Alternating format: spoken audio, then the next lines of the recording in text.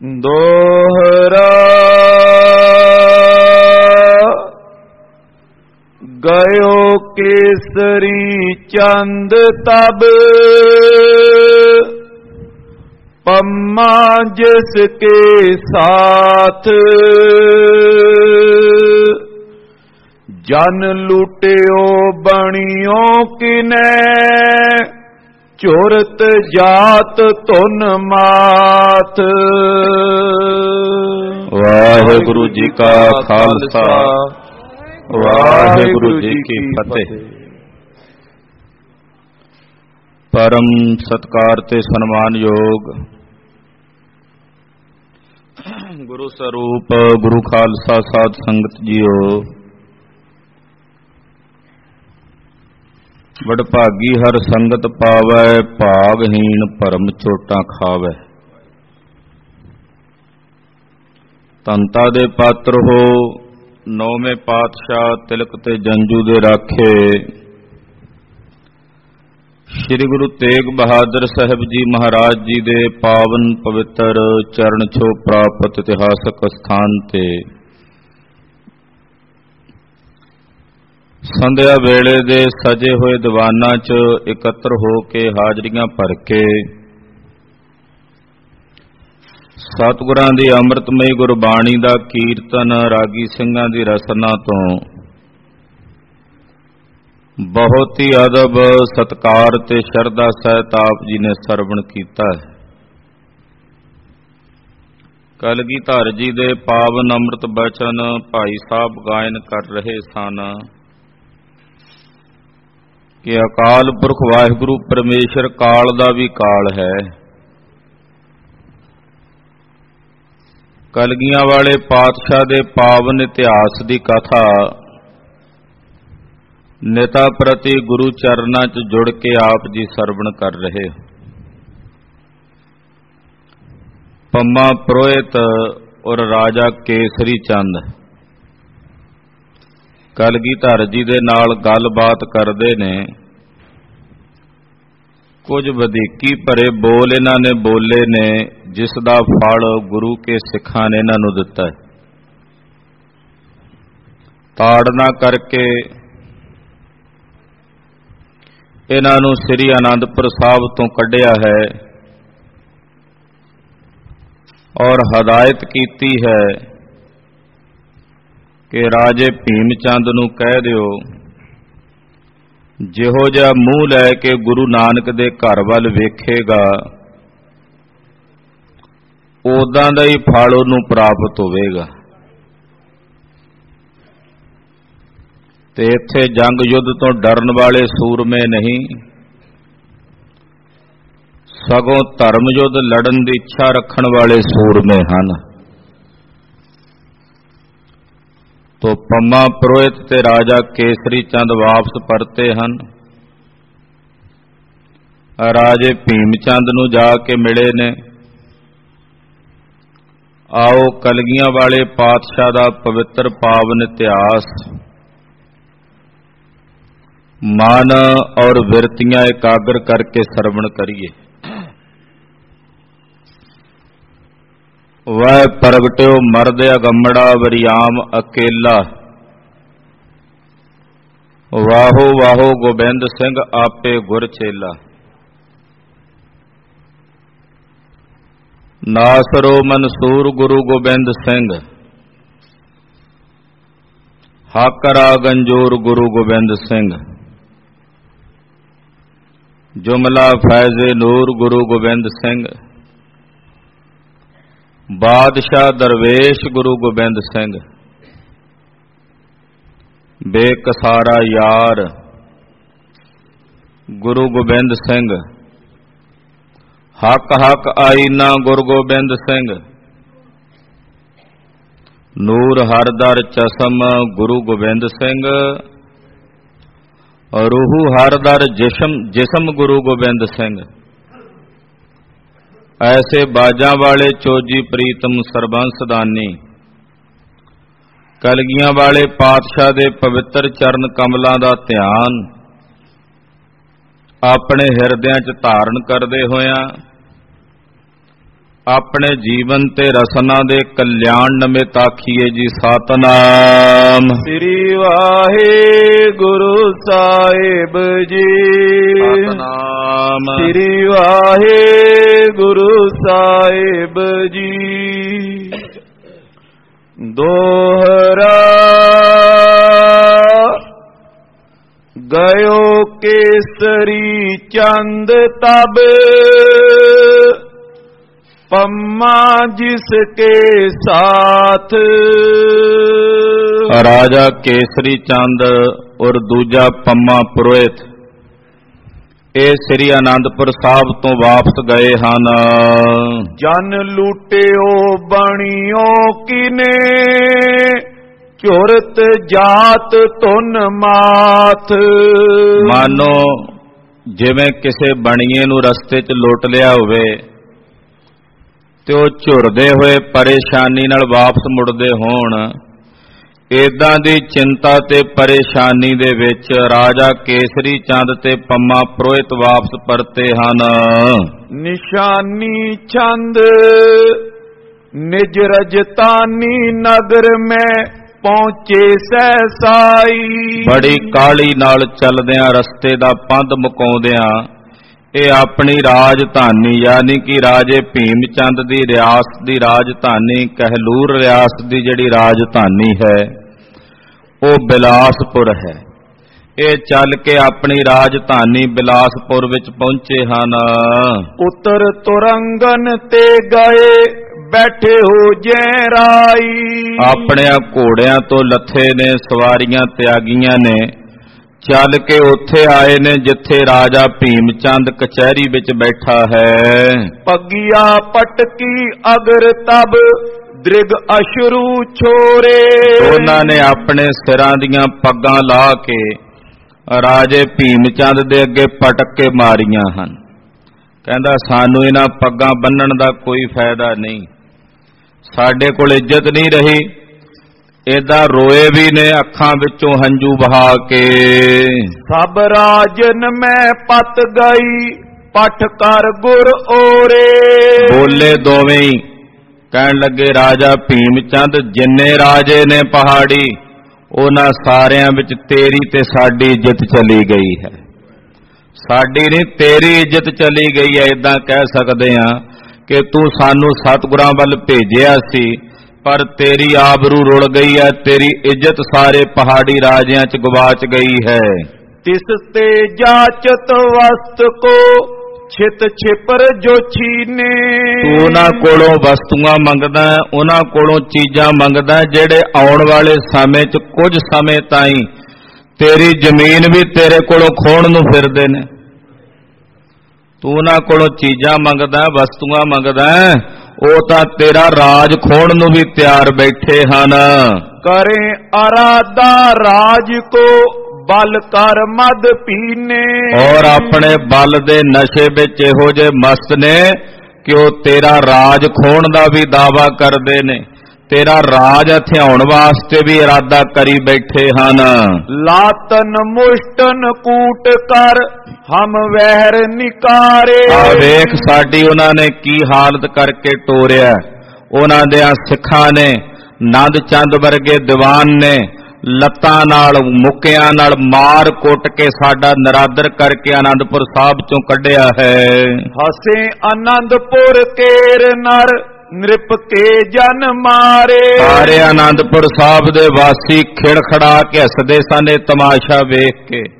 ਔਰ ਗੱਲਾਂ ਕਰਦੇ ਸਨ, ਕਹਿੰਦੇ ਵੇਖੋ ਰਾਜੇ ਭੀਮ ਚੰਦ ਦੇ ਬੰਦਿਆਂ ਦੀ ਕੀ ਹਾਲਤ ਕੀਤੀ ਹੈ।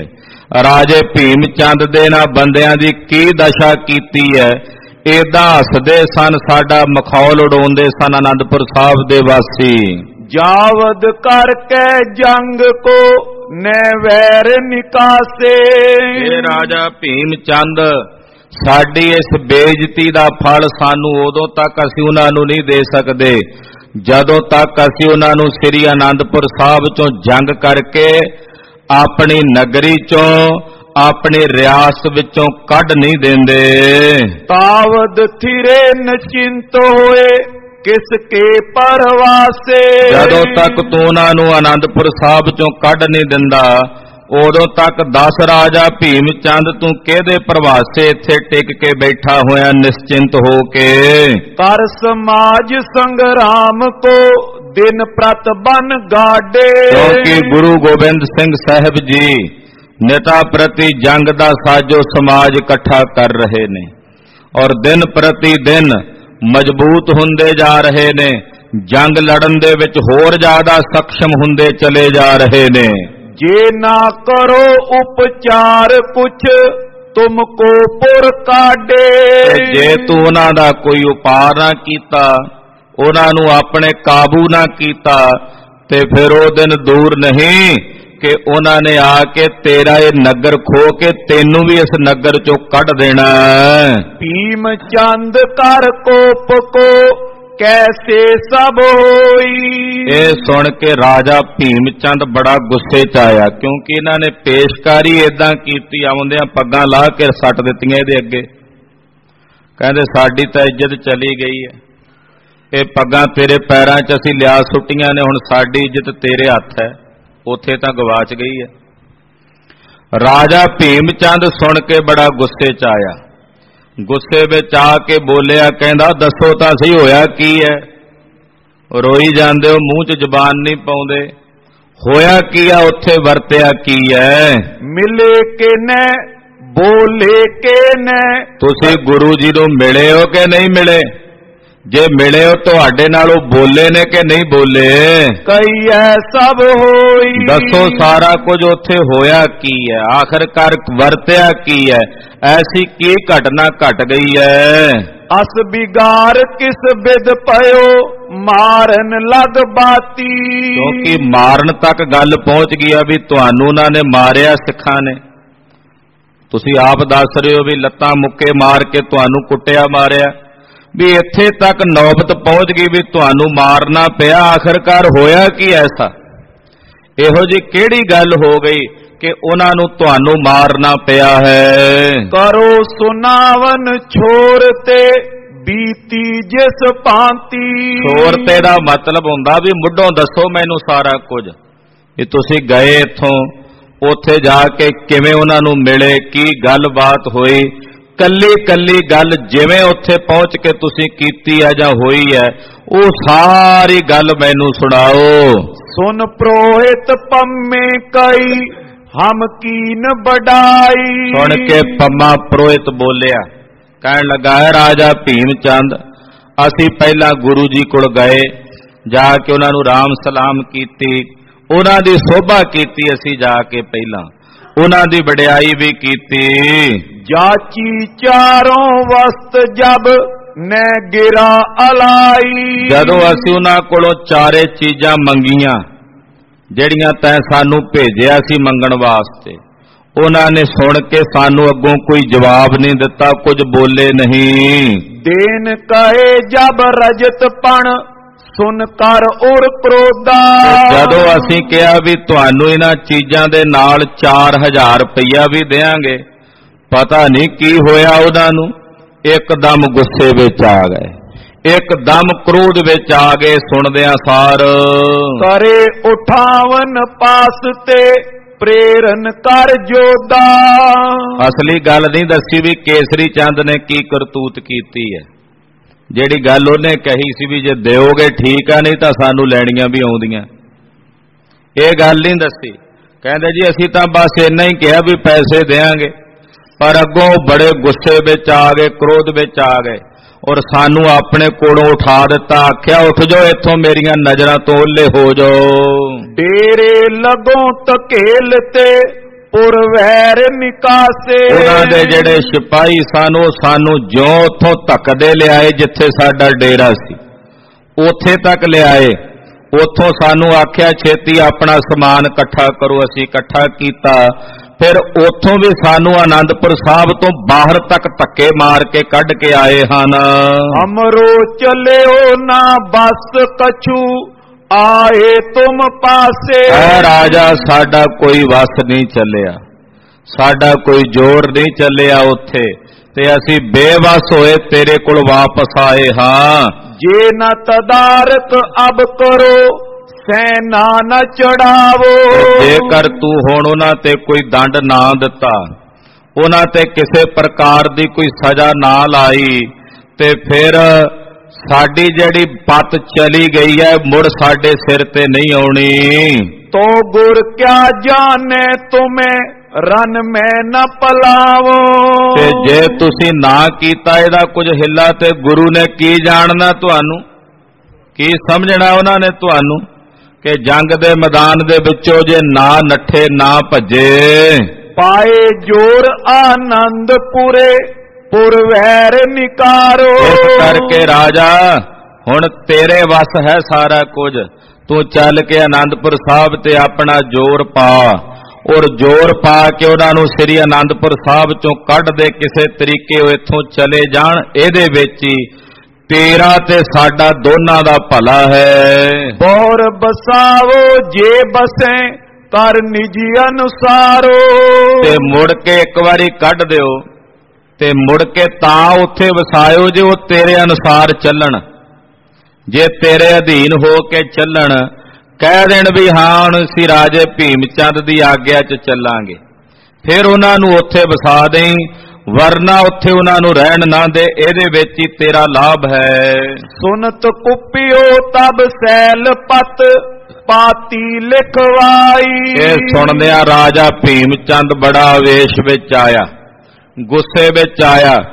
ਉਸੇ ਵਕਤ ਇਹਨੇ ਕਲਮਦਾਨ ਕਲਮ ਮੰਗਵਾਈ ਲਿਖਾਰੀ ਸੱਦਿਆ ਔਰ ਆਖਿਆ ਲਿਖ ਚਿੱਠੀ ਮੇਰੇ ਵੱਲੋਂ ਜੋ ਮੈਂ ਬੋਲਦਾ ਹਾਂ। ਬਸਿਓ ਚਾਹੇ ਜੇ ਆਨੰਦਪੁਰ ਦੇਵ ਦੁਰਦ ਪਟਾਈ। ਇਹਨੇ ਚਿੱਠੀ ਲਿਖਵਾਈ। ਆਖਿਆ ਲਿਖਿਆ ਚਿੱਠੀ ਦੇ ਵਿੱਚ ਗੁਰੂ ਜੀ ਜੇ ਤੁਸੀਂ ਆਨੰਦਪੁਰ ਸਾਹਿਬ 'ਚ ਵਸਣਾ ਚਾਹੁੰਦੇ ਹੋ ਜੇ ਤੁਸੀਂ ਆਨੰਦਪੁਰ ਸਾਹਿਬ 'ਚ ਰਹਿਣਾ ਚਾਹੁੰਦੇ ਹੋ ਤਾਂ ਜਿਹੜਾ ਤੁਹਾਡੇ ਕੋਲ ਪ੍ਰਸ਼ਾਦੀ ਹਾਥੀ ਹੈ ਉਹ ਜਿੰਨਾ ਛੇਤੀ ਹੋ ਸਕੇ ਮੇਰੇ ਕੋਲ ਭੇਜ ਦਿਓ। ਨਹੀਂ ਤਾਂ ਨਗਾਰਾ ਛੀਨ ਕੇ ਪੁਰਵੈਰ ਨਿਕਾਰੋ। ਨਹੀਂ ਤਾਂ ਜਿਹੜਾ ਨਗਾਰਾ ਵਜਾਉਂਦੇ ਫਿਰਦੇ ਉੱਥੇ ਤੁਸੀਂ ਉਹ ਨਗਾਰਾ ਤੁਹਾਡੇ ਕੋਲੋਂ ਖੋ ਕੇ ਤੁਹਾਡੇ ਨਿਸ਼ਾਨ ਤੁਹਾਡੇ ਕੋਲੋਂ ਖੋ ਕੇ ਮੈਂ ਖੁਦ ਸ੍ਰੀ ਆਨੰਦਪੁਰ ਸਾਹਿਬ ਚੋਂ ਤੁਹਾਨੂੰ ਬਾਹਰ ਕੱਢਾਂਗਾ। ਕਰੇ ਜਲਰ ਬੇਹੇਤ ਅਬ ਸਗਰੇ ਸਿੱਖ ਮਾਰੋ। ਤੇ ਜੇ ਲੜਨ ਦਾ ਤੁਸੀਂ ਅੱਗੋਂ ਵੱਲ ਬਣਾਓਗੇ ਲੜਨ ਲਈ ਤਿਆਰ ਹੋਵੋਗੇ ਤੇ ਮੈਂ ਤੁਹਾਡੇ ਸਮੇਤ ਤੁਹਾਡੇ ਸਾਰੇ ਸਿੱਖਾਂ ਨੂੰ ਮਾਰ ਮੁਕਾਵਾਂਗਾ। ਪਕੜ ਕੈਦ ਕਰ ਰਾਖੋ ਨਹੀਂ ਤਾਂ ਜੰਗ ਸੰਘਾਰੋ। ਜਾਂ ਤਾਂ ਜੇ ਫੜੇ ਗਏ ਤੇ ਪਕੜ ਕੇ ਕੈਦ ਵਿੱਚ ਸੁੱਟਾਂਗਾ। ਤੇ ਜੇ ਨਾ ਪਕੜੇ ਗਏ ਤੇ ਜੰਗ ਦੇ ਮੈਦਾਨ 'ਚ ਤੁਹਾਡੇ ਸਮੇਤ ਤੁਹਾਡੇ ਸਾਰੇ ਸਿੱਖਾਂ ਨੂੰ ਮਾਰ ਮੁਕਾਵਾਂਗਾ। ਅਬ ਲੋ ਮੈਂ ਟਾਰਾ ਕਰਿਓ ਗੁਰ ਤਾਸੋ ਵਿਚਾਰੋ। ਹੁਣ ਤਾਈ ਤਾਂ ਮੈਂ ਟਾਲਾ ਵੱਟੀ ਰੱਖਿਆ। ਮੈਂ ਆਖਿਆ ਚਲੋ ਗੁਰੂ ਹਨ। ਤੇ ਮੈਂ ਤੁਹਾਡੇ ਨਾਲ ਕੋਈ ਵਿਰੋਧ ਨਹੀਂ ਕੀਤਾ। ਭਲੇ ਖਿਲਾਓ ਤੋਏ ਕੋ ਵਿੱਚ ਦੂਨ ਅਖੇਰਾ। ਤੇ ਜੇ ਨਾ ਮੰਨੇ ਮੇਰੀ ਗੱਲ ਤੇ ਫਿਰ ਮੈਂ ਆਪਣੀ ਦੌਣ 'ਚ ਤੁਹਾਨੂੰ ਚੰਗੀ ਤਰ੍ਹਾਂ ਸ਼ਿਕਾਰ ਖੜਾਵਾਂਗਾ ਜਿਵੇਂ ਹੁਣ ਖੇਡਦੇ ਫਿਰਦੇ ਹੋ। ਫਿਰ ਭੁੱਲ ਜਾਓ ਕਿ ਤੁਸੀਂ ਮੇਰੀ ਦੌਣ ਦੇ ਵਿੱਚ ਸ਼ਿਕਾਰ ਖੇਡ ਸਕੋਗੇ। ਆਈ ਜਾਨੋ ਸੈਨ ਮਮ ਹੇਰੋਂ ਬਲ ਤੇਰਾ। ਬਸ ਇਹ ਸਮਝ ਲਓ ਮੇਰੀਆਂ ਫੌਜਾਂ ਆਈਆਂ ਸਮਝੋ ਤੁਹਾਡੇ ਕੋਲ। ਤੇ ਫਿਰ ਵੇਖਾਂਗਾ ਕਿ ਮੈਂ ਤੁਹਾਡੇ ਵਿੱਚ ਕਿੰਨਾ ਕੁ ਬਲ ਵੇਖਦਾ ਕਿੰਨੇ ਕੁ ਤੁਸੀਂ ਬਲਵਾਨ ਹੋ ਜਦੋਂ ਮੇਰੀ ਫੌਜ ਆਵੇਗੀ। ਕੂਚ ਕਰੋ ਮਮ ਦੇਸ਼ ਤੇ ਕੈਦੀ ਜੋ ਹਾਥੀ।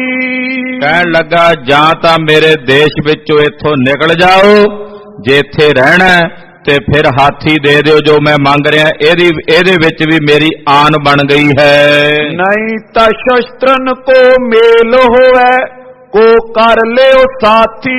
ਤੇ ਜੇ ਤੁਸੀਂ ਨਹੀਂ ਦੋਵੇਂ ਗੱਲਾਂ ਮੰਨਦੇ ਤੇ ਫਿਰ ਤੁਹਾਡਾ ਤੇ ਸਾਡਾ ਜੰਗ ਦੇ ਮੈਦਾਨ ਵਿੱਚ ਸ਼ਸਤਰਾਂ ਨਾਲ ਮੇਲ ਹੋਵੇਗਾ। ਇਸ ਕਰਕੇ ਜੇ ਕੋਈ ਸਹਾਇਕ ਸੱਦਣਾ ਹੈ ਆਪਣਾ ਕੋਈ ਮਦਦਗਾਰ ਸੱਦਣਾ ਤੇ ਸੱਦ ਲਓ ਕਿਉਂਕਿ ਫਿਰ ਹੁਣ ਤਾਂ ਜੰਗ ਦੇ ਮੈਦਾਨ 'ਚ ਹੀ ਆਪਣਾ ਮੇਲ ਹੋਊਗਾ। ਜੋਰ ਸ਼ੋਰ ਇਤਿਆਦ ਕੋ ਲਿਖ ਤੁਰਤ ਪਠਾਏ। ਇਹਦਾ ਬੜਾ ਜ਼ੋਰ ਸ਼ੋਰ ਲਿਖ ਕੇ ਨਾ ਚਿੱਠੀ ਦੇ ਵਿੱਚ ਜੋ ਇਹਦੇ ਮੂੰਹ ਚ ਆਇਆ ਇਹਨੇ ਲਖਵਾ ਕੇ ਉਹ ਚਿੱਠੀ ਬਾਜਾਂ ਵਾਲੇ ਪਾਤਸ਼ਾਹ ਦੇ ਕੋਲ ਭੇਜੀ ਹੈ। ਪਿੱਛੇ ਆਪਣੀ ਮਦਦ ਹਿਤ ਜਿਤ ਕਿਤੇ ਬੁਲਾਏ। ਔਰ ਲਿਖ ਕੇ ਸਤਿਗੁਰਾਂ ਨੂੰ ਭੇਜ ਰਿਹਾ ਵੀ ਆਪਣਾ ਸਾਥੀ ਸਾਧ ਲੋ ਵਸਾਇਕ ਸੱਦ ਲੋ ਜੇ ਲੜਨਾ ਪੈਣਾ ਮੇਰੇ ਨਾਲ ਤਾਂ। ਲਿਖ ਕੇ ਸਤਿਗੁਰਾਂ ਨੂੰ ਭੇਜ ਰਿਹਾ ਹੈ ਤੇ ਮਦਦਗਾਰ ਆਪ ਸੱਦ ਰਿਹਾ ਆਪਣੇ ਵਾਸਤੇ। ਸਹਾਇਕ ਆਪ ਸੱਦ ਰਿਹਾ ਜਿਹੜੇ ਪਹਾੜੀ ਰਾਜੇ ਨੇ ਉਹਨਾਂ ਨੂੰ ਚਿੱਠੀਆਂ ਲਿਖ ਕੇ ਨੇ ਸੱਦਿਆ ਆਪਣੇ ਕੋਲ ਬੁਲਾਇਆ। ਮੰਡੀ ਨਗਰ ਸੁਕੇਤ ਕੇ ਸੈਨਾ ਜਸਵਾਲੇ ਕਿਹੜੇ ਕਿਹੜੇ ਰਾਜੇ ਆਏ ਦੇ ਸੱਦੇ ਤੇ ਇੱਕ ਰਾਜਾ ਮੰਡੀ ਦਾ ਆਇਆ ਹੈ ਸਕੇਤ ਦਾ। ਦੂਜਾ ਰਾਜਾ ਜਸਵਾਲੀਆ ਆਇਆ ਹੈ। ਨਿਕਟ ਕਟੋਚੀ ਕੋ ਲਿਖਿਓ ਆਓ ਬਲ ਵਾਲੇ। ਉਹਦਾ ਕਿਰਪਾਲ ਕਟੋਚੀਆ ਕਾਂਗੜ ਦਾ ਰਾਜਾ। ਉਹਨੂੰ ਲਿਖ ਕੇ ਭੇਜਿਆ ਆਖਿਆ ਕਿਰਪਾਲ ਕਟੋਚੀਆ ਭਰਾਵਾ ਆ ਜਾ ਤੂੰ ਵੀ। ਤੂੰ ਕਹਿੰਦਾ ਸੀ ਵੀ ਮੈਂ ਤੇਰੀ ਸਹਾਇਤਾ ਕਰਾਂਗਾ ਜੇ ਲੜਾਈ ਪਈ। ਤੇ ਲੋੜ ਪੈ ਗਈ ਆ ਮੈਨੂੰ ਤੇਰੀ ਆ ਜਾ ਵੀਰਾ। ਮੈਂ ਬਾਹਾਂ ਉਲਾਰ ਕੇ ਤੈਨੂੰ ਉਡੀਕਦਾ ਹਾਂ। ਪੂਰੀ ਦਲੋਦੜ ਭੇਜ ਕੇ ਪਹੁੰਚੋ ਰਣ ਕਾਜਾ ਕਰੋਲ ਦਾ ਜਿਹੜਾ ਰਾਜਾ ਸੀ ਉਹਨੂੰ ਵੀ ਬੁਲਾਇਆ ਆਖਿਆ ਜੰਗ ਦਾ ਸਮਾਂ ਆਪਣੇ ਪਹਾੜੀ ਰਾਜਿਆਂ ਦੀ ਇੱਜ਼ਤ ਦਾ ਵੇਲਾ ਹੈ। ਆਓ ਵੀਰੋ ਰਲ ਕੇ ਆਪਣੀਆਂ ਇੱਜ਼ਤਾਂ ਬਚਾ ਲਈਏ। ਹਰੀ ਚੰਦ ਕੋ ਬੋਲ ਕਿਓ ਇਹ ਸਭ ਕੀ ਲਾਜਾ। ਸਾਰੇ ਰਾਜਿਆਂ ਵਿੱਚ ਸਭ ਤੋਂ ਯੋਧਾ ਰਾਜਾ ਸੀ ਹਰੀ ਚੰਦ। ਉਹਨੂੰ ਵੀ ਬੁਲਾਇਆ ਉਹਨੂੰ ਵੀ ਸੱਦ ਲਿਆ ਕਿ ਆ ਜਾ ਭਰਾਵਾ ਹੁਣ ਆਪਣੇ ਸਿਰ ਤੇ ਲੱਥੀ ਪੱਥ ਨੂੰ ਪੱਗ ਨੂੰ ਦੁਬਾਰਾ ਰੱਖਣਾ ਹੈ। ਗ੍ਰਾਮਨ ਛੇਰ ਇਕੱਤਰ ਤਰ ਜੇ ਤਤ ਜੈ ਹੋਈ। ਪਿੰਡਾਂ ਵਿੱਚੋਂ ਛੇੜ ਇਕੱਠੀ ਕਰ ਲਈ। ਛੇੜ ਦਾ ਮਤਲਬ ਹੁੰਦਾ ਵੀ ਉਹ ਲੋਕ ਜਿਹੜੇ ਲੁੱਟਾਂ ਖੋਹਾਂ ਵਾਲੇ ਹੁੰਦੇ ਐ। ਵੀ ਆਵਾਜ਼ ਮਾਰ ਕੇ ਜਿਵੇਂ ਕਈ ਬੰਗਾਰ ਚ ਨਹੀਂ ਸੱਦ ਲਿਆਈ ਦੇ ਵੀ ਬੰਗਾਰ ਚ ਸੱਦ ਲੈ ਵੀ ਜਿਹੜੀ ਲੁੱਟ ਮਾਰ ਹੋਵੇਗੀ ਉਹ ਤੁਹਾਨੂੰ ਮਾਫ ਹੋਵੇਗੀ। ਨਾ ਤੁਹਾਡੇ ਕੋਲੋਂ ਕੁਝ ਲੈਣਾ ਨਾ ਤੁਹਾਨੂੰ ਦੇਣਾ। ਜੋ ਲੁੱਟੋਗੇ ਉੱਥੋਂ ਤੁਹਾਡਾ। ਉਹ ਛੇੜ ਵੀ ਇਹਨਾਂ ਨੇ ਇਕੱਠੀ ਕਰ ਲਈ ਰਾਜੇ ਭੀਮ ਚੰਦ ਨੇ ਉਹਨਾਂ ਨੂੰ ਵੀ ਸੱਦੇ ਭੇਜ ਦਿੱਤੇ। ਪਹੁੰਚੋ ਤੁਰਤ ਸਮੀਪ ਮਮ ਹਿਤ ਕਾਰਜ ਜੋਈ। ਇਹ ਜਿਹੜਾ ਕਾਰਜ ਹੈ ਇਸ ਨੂੰ ਕਰਨ ਵਾਸਤੇ ਹੈ। ਰਾਜੋ ਤੁਸੀਂ ਸਾਰੇ ਮੇਰੇ ਕੋਲ ਬਿਲਾਸਪੁਰ ਆ ਜਾਓ। ਇਮ ਹਕਾਰ ਸਗਰੇਨ ਕੋ ਗਨ ਸੈਨ ਬਟੋਰੀ। ਇਦਾਂ ਰਾਜੇ ਭੀਮ ਚੰਦ ਨੇ ਸਾਰੇ ਰਾਜਿਆਂ ਨੂੰ ਸੱਦੇ ਭੇਜ ਦਿੱਤੇ। ਮੁੜ ਕੇ ਆਪਣੀ ਫੌਜ ਵੀ ਇਕੱਠਿਆਂ ਕਰਨ ਲੱਗਾ ਹੈ। ਭਏ ਇਕੱਤਰ ਪਹਾੜੀਏ ਪਰ ਸ਼ਲਖੈ ਛੋਰੀ। ਕੱਚੀ ਮੱਤ ਵਾਲੇ ਪਹਾੜੀਏ ਇਕੱਠੇ ਹੋ ਗਏ ਰਾਜੇ ਭੀਮ ਚੰਦ ਦੇ ਪਾਸ। ਸਿਪਾਹੀ ਇਕੱਠੇ ਹੋਏ ਫੌਜਾਂ ਇਕੱਠੀਆਂ ਹੋਈਆਂ ਪਿੰਡਾਂ ਨਗਰਾਂ ਦੀ ਛੇੜ ਇਕੱਠੀ ਹੋਈ। ਬੰਦੂਕਾਂ ਭਰ ਕੇ ਬੰਦੂਕਾਂ ਦੇ ਵਿੱਚੋਂ ਗੋਲੀਆਂ ਦਾਗਦੇ ਆਕਾਸ਼ ਵੱਲ ਹਵਾਈ ਫਾਇਰ ਕਰਦੇ ਹਨ। ਇਤ ਕਾਗਦ ਆਨੰਦਪੁਰ ਪਹੁੰਚੀ ਹੋ ਜਬ ਆਈ ਇਧਰ ਚਿੱਠੀ ਜਿਹੜੀ ਰਾਜੇ ਭੀਮ ਚੰਦ ਨੇ ਲਿਖ ਭੇਜੀ ਸੀ ਉਹ ਸ੍ਰੀ ਆਨੰਦਪੁਰ ਸਾਹਿਬ ਮਹਾਰਾਜ ਜੀ ਦੇ ਕੋਲ ਆ ਗਈ। ਸੁਧ ਹਜੂਰ ਪਹੁੰਚੀ ਤਬੈ ਨ੍ਰਿਪ ਪਤਰ ਪਠਾਈ। ਕਲਗੀਧਰ ਜੀ ਕੋਲ ਖਬਰ ਪਹੁੰਚੀ ਕਿ ਰਾਜੇ ਭੀਮ ਚੰਦ ਨੇ ਮਹਾਰਾਜ ਜੀ ਆਪ ਜੀ ਨੂੰ ਚਿੱਠੀ ਲਿਖ ਕੇ ਭੇਜੀ ਹੈ। ਨਿਕਟ ਅਨਾਏ ਬਿਠਾਏ ਕਰ ਸਭ ਸਭਾ ਮਜਾਰਾ। ਜਿਹੜਾ ਚਿੱਠੀ ਲੈ ਕੇ ਆਇਆ ਦੂਤ ਸੀ ਮਹਾਰਾਜ ਜੀ ਨੇ ਉਹਦਾ ਸਤਕਾਰ ਕੀਤਾ। ਉਹਨੂੰ ਆਪਣੇ ਕੋਲ ਬਿਠਾਇਆ ਔਰ ਜਿਹੜੀ ਚਿੱਠੀ ਲਿਆਇਆ ਉਹ ਚਿੱਠੀ ਮਹਾਰਾਜ ਜੀ ਨੇ ਮੰਗੀ ਹੈ।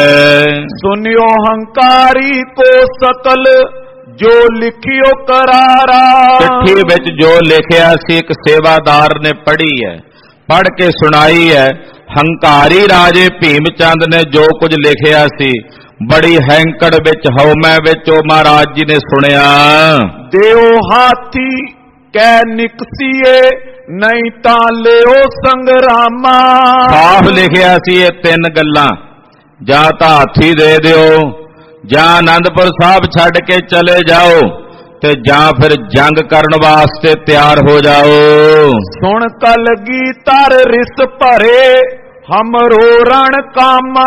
ਕਲਗੀਧਰ ਜੀ ਨੇ ਜਦੋਂ ਸੁਣਿਆ ਤੇ ਸੁਣ ਕੇ ਮਹਾਰਾਜ ਜੀ ਬੀ ਰਸ ਵਿੱਚ ਆਏ।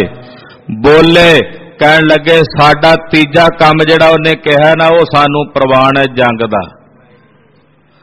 ਕਿਉਂਕਿ ਸਾਡਾ ਕੰਮ ਹੀ ਰਣ ਕਰਨਾ ਹੈ ਰਣ ਕਰਨ ਦਾ ਮਤਲਬ ਧਰਮ ਯੁੱਧ ਕਰਨਾ ਹੈ। ਦੁਸ਼ਟਾਂ ਦੀ ਸਭਾ ਨੂੰ ਉਖਾੜਨਾ ਇਹੀ ਸਾਡਾ ਧਰਮ ਹੈ ਕਰਤੱਵ ਹੈ। ਜਾਚੈ ਗੁਰ ਕਰ ਤੇ ਜਥਾ ਪ੍ਰਾਪਤ ਹੋਏ ਸੋਈ। ਕਿਉਂਕਿ ਰਾਜਾ ਭੀਮ ਚੰਦ ਜੇ ਗੁਰੂ ਘਰੋਂ ਜੰਗ ਮੰਗਦਾ ਤੇ ਫਿਰ ਗੁਰੂ ਘਰੋਂ ਜਿਹੜੀ ਚੀਜ਼ ਮੰਗੀਏ ਉਹ ਮਿਲਦੀ ਆ ਫਿਰ ਉਹਨੂੰ ਜੰਗ ਹੀ ਮਿਲੇਗਾ। ਜੋ ਜੰਗ ਮੰਗਦਾ ਨਾ ਵੀ ਗੁਰੂ ਘਰੋਂ ਜੰਗ ਚਾਹੀਦਾ ਤੇ ਫਿਰ ਉਹਨੂੰ ਉਹ ਕੁਝ ਪ੍ਰਾਪਤ ਹੋਵੇਗਾ। ਨੈ ਗੱਜ ਨਿਕਸਨ ਨੈ ਬਨੈ। ਨਾ ਹਾਥੀ ਦੇਣਾ ਅਸੀਂ ਨਾ ਆਨੰਦਪੁਰ ਸਾਹਿਬ ਛੱਡ ਕੇ ਜਾਣਾ। ਲਿਓ ਤੀਸਰ ਜੋਈ। ਜਿਹੜਾ ਤੀਸਰਾ ਉਹਨੇ ਦੱਸਿਆ ਨਾ ਵੀ ਜੰਗ ਲੜਨ ਨੂੰ ਤਿਆਰ ਹੋ ਜਾਓ ਉਹਦੇ ਲਈ ਅਸੀਂ ਤਿਆਰ ਬੈਠੇ ਅਸੀਂ ਤਾਂ ਆਖਿਆ ਸੀ ਵੀ ਫੌਜ ਲੈ ਕੇ ਆਏਗਾ ਉਹਨੇ ਫਿਰ ਚਿੱਠੀ ਭੇਜ ਦਿੱਤੀ ਹੈ। ਅਸੀਂ ਤਾਂ ਉਡੀਕਦੇ ਸੀ ਬੈਠੇ ਇੱਥੇ ਸਾਡੇ ਸੂਰਮੇ ਨੈ ਕੁਛ ਹਮਰੇ ਬਿਲਮ ਹੈ ਇਕ ਧਰੇ ਉਡੀਕਾ। ਸਾਡੇ ਵੱਲੋਂ ਕੋਈ ਦੇਰੀ ਨਹੀਂ ਲੜਨ ਵਾਸਤੇ ਜੰਗ ਕਰਨ ਵਾਸਤੇ।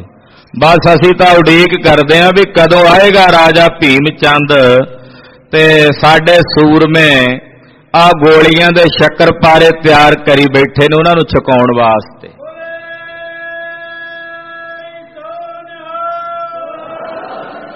ਆ ਤਲਵਾਰਾਂ ਦੇ ਘੇਵਰ ਬਣੇ ਪਏ ਨੇ ਛਕਾਣ ਲਈ ਉਹਨਾਂ ਨੂੰ। ਆ ਢਾਲਾਂ ਪਈਆਂ ਨੇ ਭਰ ਭਰ ਕੇ ਵਰਤਾਉਣ ਵਾਸਤੇ। ਅਸੀਂ ਤਾਂ ਉਡੀਕਦੇ ਆਂ ਸਾਡੇ ਵੱਲੋਂ ਨਹੀਂ ਕੋਈ ਦੇਰੀ।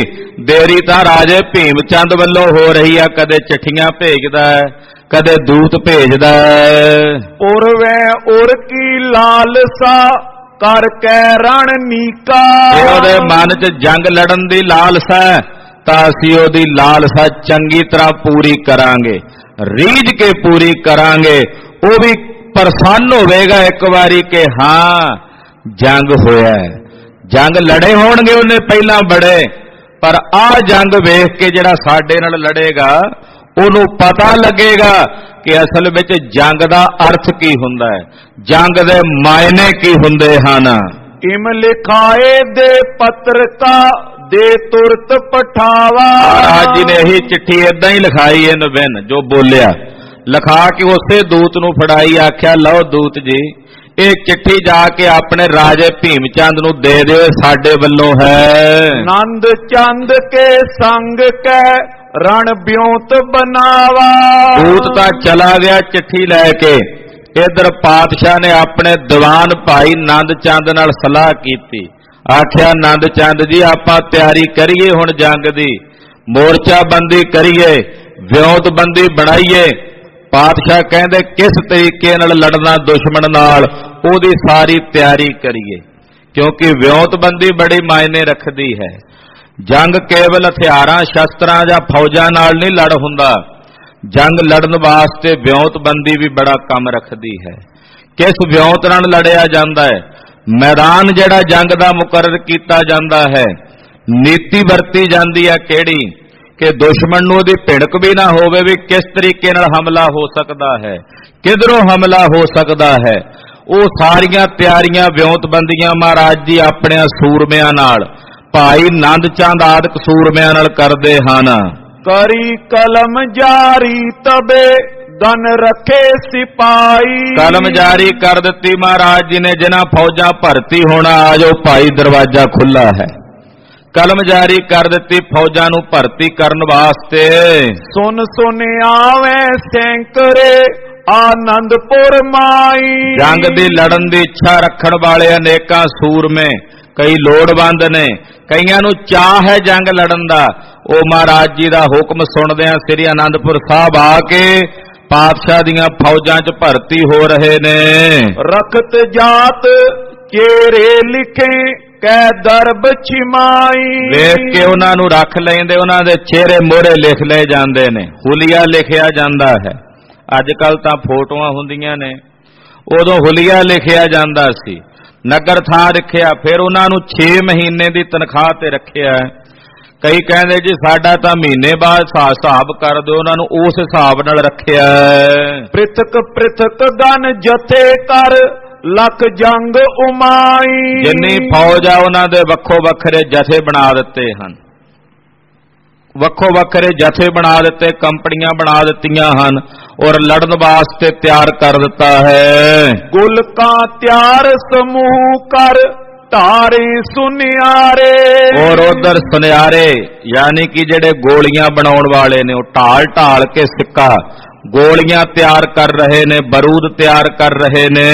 ਬ੍ਰਿੰਦ ਬਰੂਦ ਬਣਾਵਈ ਅਰ ਆਯੁਧ ਸਾਰੇ। ਬਰੂਦ ਤਿਆਰ ਕੀਤਾ ਜਾ ਰਿਹਾ ਬਰੂਦ ਦੇ ਕੁੱਪੇ ਹੁੰਦੇ ਸੀ ਪੁਰਾਣੇ ਤੁਸੀਂ ਵੇਖੇ ਹੋਣਗੇ। ਉਹਨਾਂ ਕੁੱਪਿਆਂ ਵਿੱਚ ਬਰੂਦ ਭਰਿਆ ਜਾ ਰਿਹਾ ਗੋਲੀਆਂ ਤਿਆਰ ਕੀਤੀਆਂ ਜਾ ਰਹੀਆਂ ਹਨ।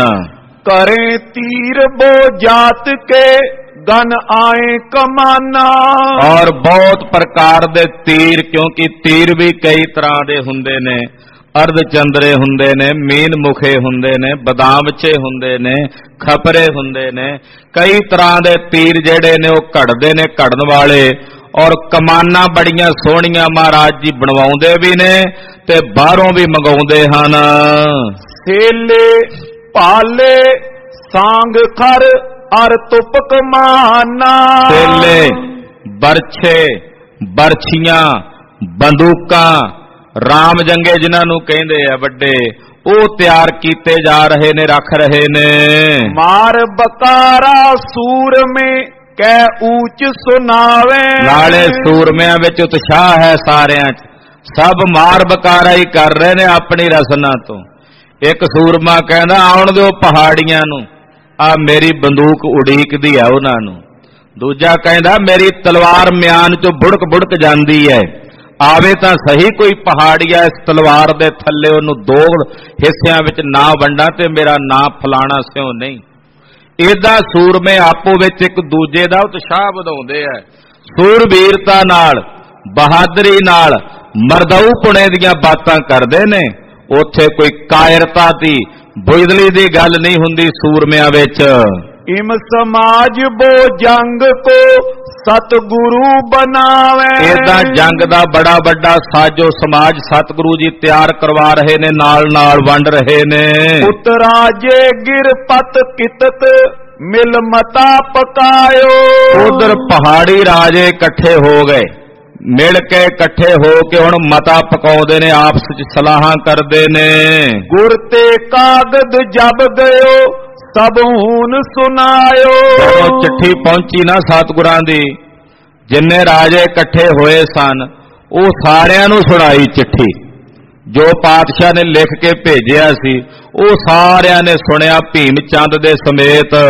ਮਿਲਿਓ ਕਿਰਪਾਲ ਕਟੋਚੀਆ ਸਭ ਸਭਾ ਮਝਾਰਾ।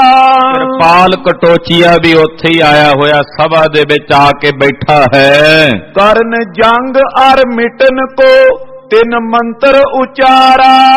ਇਹਨੇ ਜੰਗ ਕਰਨ ਦਾ ਤੇ ਜੰਗ ਨੂੰ ਮਿਟਾਉਣ ਦਾ। ਦੋਵੇਂ ਮੰਤਰ ਪਕਾ ਲਏ ਨੇ। ਵੀ ਜੇ ਹੋਵੇ ਤੇ ਮੈਂ ਕਿਵੇਂ ਕਰਾਵਾਂ? ਤੇ ਜੇ ਮੇਰੇ ਸਿਰ ਤੇ ਆਉਂਦੀ ਹੋਈ ਤੇ ਰੋਕਣਾ ਕਿਵੇਂ ਹੈ? ਕਿਉਂਕਿ ਹੋ ਸਕਦਾ ਸਾਰੇ ਰਾਜੇ ਕਹਿ ਦੇਣ ਵੀ ਕਿਰਪਾਲ ਕਟੋਚੀ ਨੂੰ ਸੈਨਾਪਤੀ ਬਣਾਓ ਅੱਗੇ। ਇਹ ਚਾਹੁੰਦਾ ਸੀ ਵੀ ਇਹ ਆਪ ਹੀ ਲੜਨ ਮੈਨੂੰ ਨਾ ਜਾਣਾ ਪਵੇ। ਇਹਨੇ ਦੋਵੇਂ ਗੱਲਾਂ ਨੂੰ ਵਿਚਾਰਿਆ ਹੈ।